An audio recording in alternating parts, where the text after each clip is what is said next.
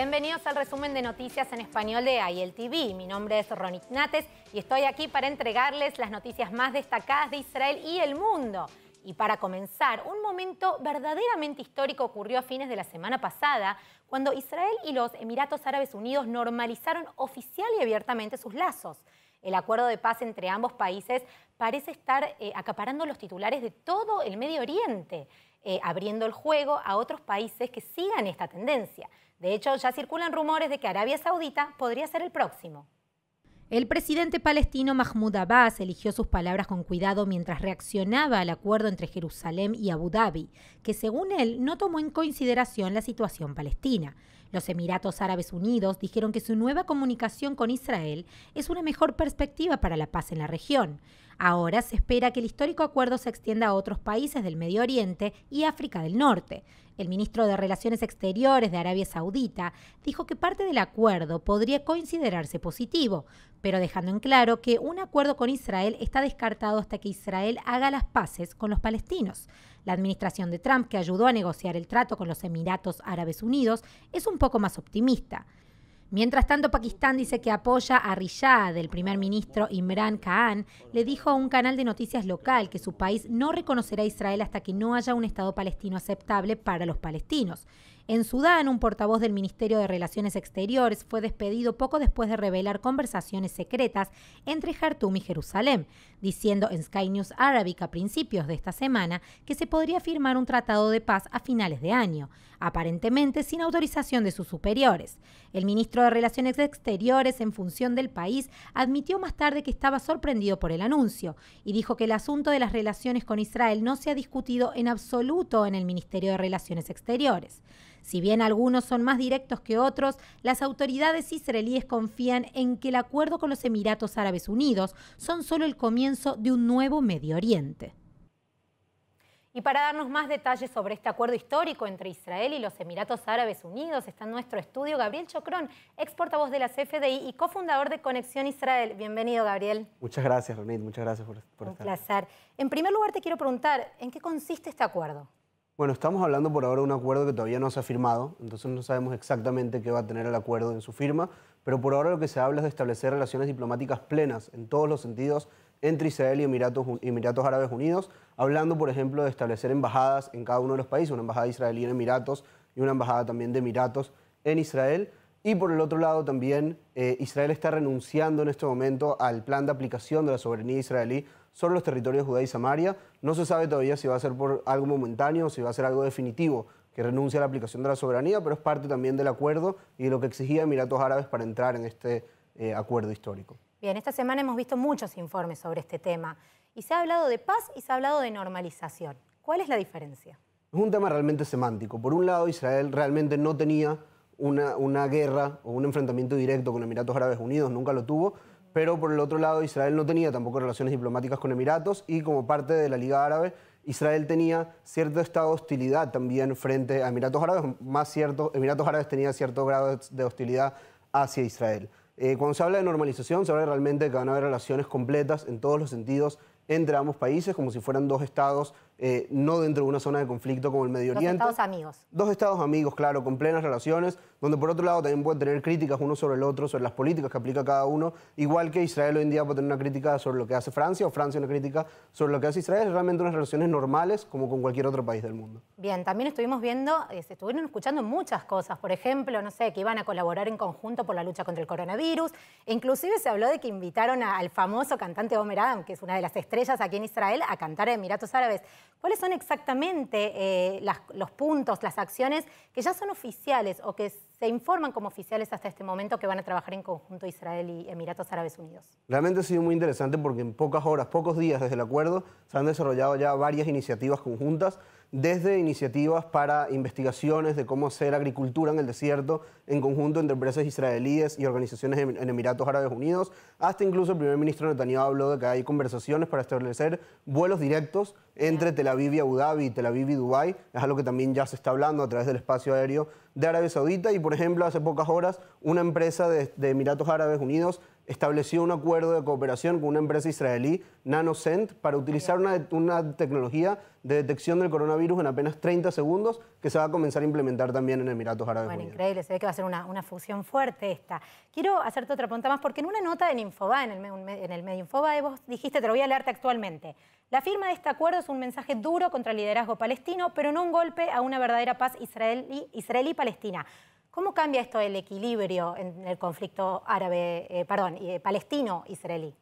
Claro, desde hace muchos años hay la noción, o el acuerdo, mejor dicho, entre los países árabes de que no iba a haber una normalización con Israel hasta no haber un acuerdo de paz entre Israel y los palestinos. Sin embargo, en los últimos años, en las últimas décadas inclusive, Israel una vez tras otra ha llevado ofertas de paz a los palestinos, al liderazgo palestino, ha ofrecido prácticamente todo lo que se puede poner sobre la mesa y una vez tras otra los palestinos han rechazado y han evitado llegar a un acuerdo de paz con Israel, un acuerdo de paz que Israel necesita, que sea un acuerdo que también le garantice su existencia y su supervivencia dentro de la región en la que vivimos. Entonces, de alguna forma, los estados, algunos países árabes se cansaron de esperar, se cansaron de esperar por un liderazgo palestino que no quiere avanzar en la paz y decidieron tomar acciones y realmente tener alianzas con uno de los estados, o tal vez el estado más fuerte de la región. Lo único que sí es real es que dentro de este acuerdo de paz puede servir también para impulsar más bien el proceso de paz israelí-palestino, donde el liderazgo palestino se dé cuenta que las cosas cambiaron y que si no comienzan ahora a trabajar por esa paz, tal vez todo el mundo árabe comience a normalizar las relaciones con Israel y ellos se queden un poco atrás. Así que esperamos más bien que este acuerdo sirva para impulsar, para darle vida a un proceso de paz que ha estado estancado por prácticamente 25 años. Bien, bueno, justamente hablabas de otros países de, Medio Oriente. En el primer informe del noticiero estuvimos hablando de la posibilidad de que Arabia Saudita o Sudán se sumen a esta a esta tendencia de paz con Israel que estamos viviendo hoy gracias a, este acuerdo. Eh, ¿Cuáles son las posibilidades de que Israel eh, alcance la paz con más países realmente eh, aquí en Medio Oriente, con más países árabes? Yo creo que es muy posible. En realidad el Medio Oriente ahorita está dividido en dos bloques principales. El bloque de los países extremistas liderados por el régimen iraní y el bloque de los países sunitas moderados, entre los que está Emiratos Árabes Unidos, Arabia Saudita, Omán y algunos otros países. En este momento ese bloque está buscando tener como socio dentro de esta región también a Israel y también a Estados Unidos, hay que decirlo, como potencias que pueden apoyarlos a equilibrar la balanza dentro de esta región. Y por Estados Unidos que fue mediador en este acuerdo. Exactamente, Estados Unidos que es mediador en este acuerdo y que sigue aplicando toda su fuerza también contra la agresividad del régimen iraní en la región. Y por eso sí es posible que se sumen otros países árabes, por ejemplo Bahrein y Omán, ya dijeron abiertamente que reciben con buenos ojos el acuerdo entre Israel y Emiratos Árabes Unidos, probablemente sean los primeros que se sumen a esta lista. Eh, Arabia Saudita por el momento puede, puede ser que tome un poco más de tiempo, pero sin lugar a dudas aquí en Israel tenemos la esperanza de que sea un nuevo viento de paz en esta región, una nueva corriente, una nueva ola que realmente pueda cambiar la realidad del Medio Oriente y podamos dejar tanto conflicto en esta región para realmente traer una nueva realidad y un mejor futuro para la gente que vive en esta zona. Bueno, Gabriel, muchísimas gracias por venir y aclararnos todo este panorama. Muchísimas gracias a ti, Ronnie. Y cambiamos de tema porque una vez más las FDI realizaron ataques contra grupos terroristas en Gaza el martes por la noche. Estas últimas represalias son en respuesta a los lanzamientos de cohetes contra las poblaciones civiles del sur de Israel. Para que ustedes tomen dimensión de la gravedad del asunto, cada vez que suena una sirena, miles de personas deben correr a los refugios para proteger su vida. Y en esta oportunidad, dos niñas resultaron heridas. También el martes se produjeron 39 incendios en Israel por el uso continuo y creciente de globos o cometas incendiarios que volaron hacia Israel desde la franja de Gaza. También se descubrieron dos artefactos explosivos adicionales adheridos a globos incendiarios que fueron detonados por la policía sin causar ningún daño. El grupo terrorista palestino jamás afirma estar instigando la violencia reciente en un intento de convencer a Israel de que ceda a sus demandas como abrir el cruce de Kerem Shalom, despegar más importaciones de Gaza, extender los permisos de trabajo israelíes a 100.000 residentes de Gaza, dar luz verde a proyectos de la ONU para impulsar el empleo y ampliar la zona de pesca de Gaza a 20 millas náuticas. Por otro lado, el primer ministro Benjamín Netanyahu habló con los líderes del Consejo Regional del Sur y les dijo que Israel ha elevado las sanciones a Gaza, mientras que las FDI han estado operando contra Hamas y otros objetivos de grupos terroristas en la franja durante las últimas dos semanas. אני חושב שהחמאס יעשה טעות גדולה מאוד אם, אם הוא ימשיך בזה. הוא מקבל כבר עכשיו אינדיקציה לאן זה יוביל, הוא בוודאי יזכור אה, לאן זה הוביל, אני מקווה שגם הג'יהאד אה, האסלאמי יזכור לאן זה הוביל. אנחנו לא חסכנו בשום אה, אה, אמצעי, לרבות אה, במקרה הצורך של התפתחות אה, המערכה, גם של סיכולים ממוקדים, וגם היום אין לנו מגבלה כזאת. Avanzando, las cooperaciones internacionales se siguen afianzando a pesar del coronavirus. La Fuerza Aérea Israelí se dirigió a Alemania el lunes para participar en el primer ejercicio conjunto de la Fuerza Aérea Alemana e Israelí en el extranjero. El ejercicio de dos semanas incluye un sobrevuelo conmemorativo sobre el campo de concentración de Dachau y tiene como objetivo mejorar las capacidades de la Fuerza Aérea en un terreno desconocido. Las fuerzas de la OTAN también participan en los simulacros. La Fuerza Aérea de Israel en particular está operando en seis aviones de combate Barak F-16, dos aviones de transporte Boeing 707 REM y dos aviones de control Gulfstream eh, G550 EITAM. Y es hora de hablar del coronavirus porque las cifras de infección por COVID-19 siguen aumentando a un ritmo alarmante en Israel. Las autoridades israelíes en el gabinete del coronavirus se reunirán hoy y debatirán sobre los próximos pasos a seguir a medida que el país se acerca a la temporada alta de vacaciones. Empezando por las buenas noticias, disipando los temores sobre el destino de Israel, el profesor Ronnie Gamsu informó que la tasa de mortalidad por COVID-19 de Israel es en realidad la más baja del mundo per cápita. Las malas noticias, la tasa de infección aún se mantiene en casi el 11% en todo el país. Y con la temporada alta de vacaciones casi aquí, Gamsu reiteró que su objetivo principal es simplemente combatir el virus sin tener que recurrir al bloqueo total. Un objetivo que advierte puede que no tenga éxito. Y para hacer esto, Gamsu lanza un ataque de tres puntas. Primero, para recuperar la confianza del público aumentando la comprensión y siendo abiertos en la toma de decisiones. Y en segundo lugar, para cortar la cadena de transmisión a través del rastreo de contactos, el interrogatorio y la cuarentena, agregando que las personas deben aislarse por sí mismas en el momento en que se sientan enfermas, incluso antes de hacerse la prueba. Y finalmente, responsabilizando a los funcionarios locales como alcaldes y líderes comunitarios de la lucha a medida que se acerca la temporada de gripe de otoño e invierno. Esto incluso creando instalaciones en cada comunidad para manejar la crisis y haciendo que cada líder local trabaje en estrecha colaboración con el Ministerio de Salud y las FDI. Sin embargo, volviendo al primer paso de Gamsu, la pregunta ahora es si el gobierno puede confiar en el público o no. Funcionarios de la patrulla fronteriza israelí ahora alegan que docenas de formularios utilizados por israelíes para abordar vuelos al extranjero podrían haber sido falsificados. Una auditoría revela que los documentos en cuestión provienen todos de la misma clínica y médico en Jerusalén, aunque la clínica niega haber actuado mal por su parte. Mientras tanto, el primer ministro Benjamín Netanyahu aclaró de manera similar los desafíos de Israel en medio de informes supuestamente engañosos. Pero en cuanto a la baja tasa de mortalidad, nuevos informes muestran que las estadísticas pueden no ser tan sencillas. El Ministerio de Salud admite que se perdió al menos 53 muertes desde julio. Funcionarios dicen que la discrepancia se debe a que los pacientes son tratados fuera de hospitales, en hogares de ancianos y similares. Cualquiera sea la razón, esto eleva el número de muertos de Israel al menos 789, pasando de 720 de la noche a la mañana. Las infecciones activas también aumentaron a 1.637 en las últimas 24 horas y el número de casos activos es de más de 23.900.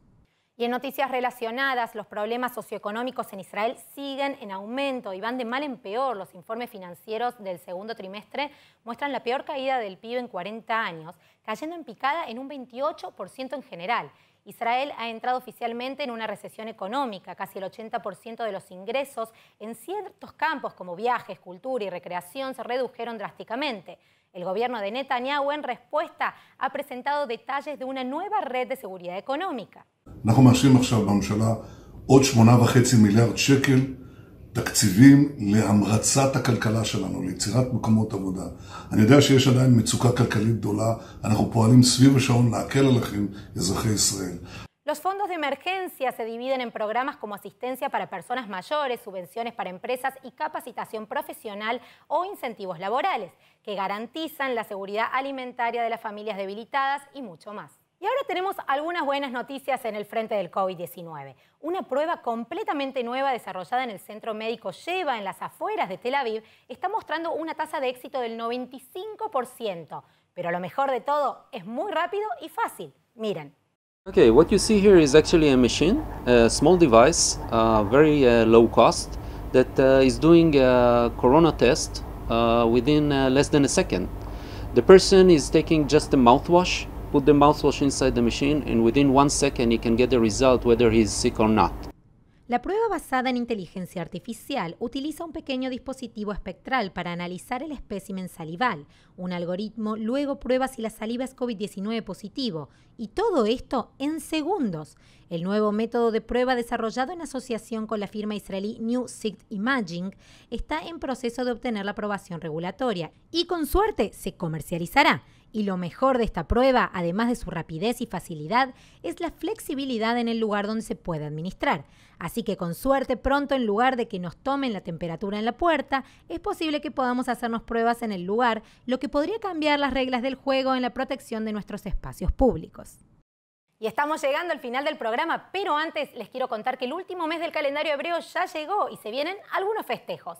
Pero ¿cómo festejar con el coronavirus aún entre nosotros? Bueno, el municipio de Jerusalén está convirtiendo algunas de las calles más populares de la ciudad en vías peatonales, llenas de comida, bebida y entretenimiento. Miren esto.